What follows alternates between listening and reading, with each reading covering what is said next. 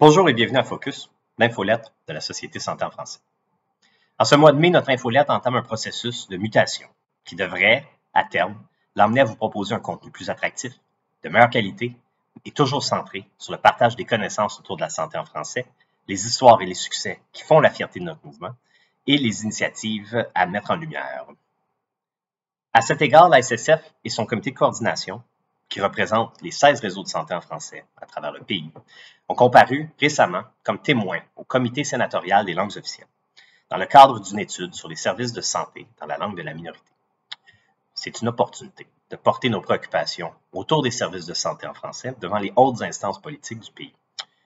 Vous pouvez visionner notre comparution à votre guise si vous ne l'avez pas déjà fait. Autre nouvelle, il est également noté la collaboration entre le Collège canadien des leaders en santé et la Société santé en français, afin de permettre aux leaders en santé du Canada d'améliorer leur expertise en matière d'équité d'accès aux services de santé en français en contexte minoritaire.